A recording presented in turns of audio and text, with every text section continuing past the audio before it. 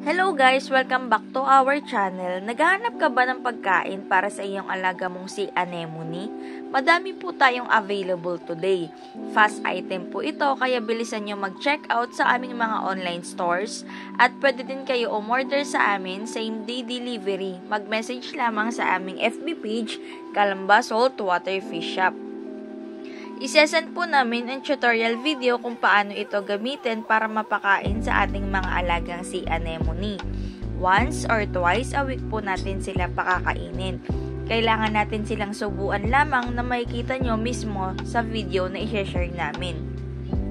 So ano pang inaantay mo? Pakainin mo na nito ang iyong si anemone upang si anemone at syempre si Nemo ay happy dahil ang maganda dito ay kinakain din ito ng mga alaga mong isda. So ano nang inaantay mo? Order na!